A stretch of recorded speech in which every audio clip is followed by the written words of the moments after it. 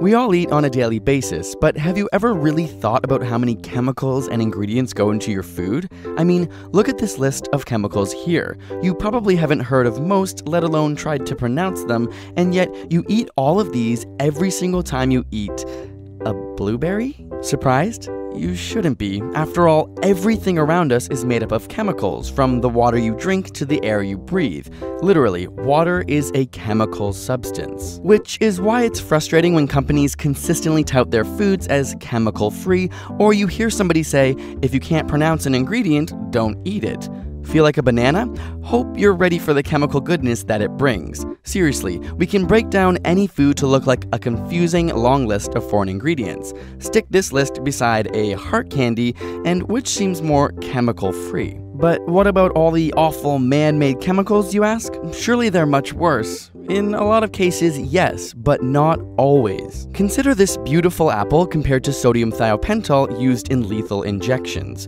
Would you guess that the seeds within apples have roughly the same toxicity level? The amygdalin in the seeds and the sodium thiopental both become toxic at around 1000 milligrams per kilogram of your body weight. Of course, apples contain very little risk because there is so little in the seeds you'd have to consume a lot and yet, if we compare citric acid in lemons to aspartame, an artificial sweetener, we find that neither are toxic at 1000 milligrams per kilogram of body weight.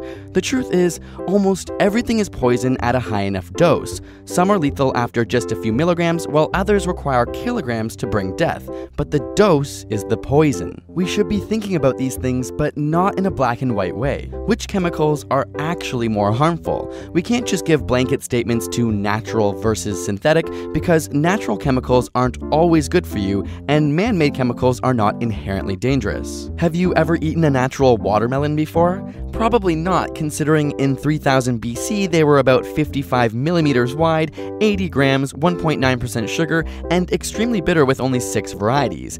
Now, watermelons are 660 millimeters wide, weigh around 8 kilograms, have 6.2% sugar, are seedless, and come in 1200 varieties. Thousands of years of human guided evolution have changed these fruits from their quote unquote natural form. The same can be said for sweet corn, which comes from the teosinte plant.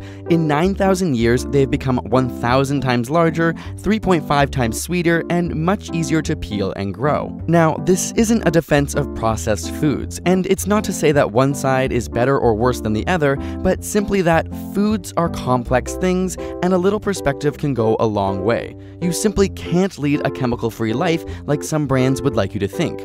The word detox is strictly a marketing myth do your research, actually understand what you're eating, and your health will benefit. While we're on the topic of food myths and misconceptions, be sure to watch our videos on fresh versus frozen food and gluten, where we debunk some commonly held beliefs and try to knock some science into people. And subscribe for more weekly science videos.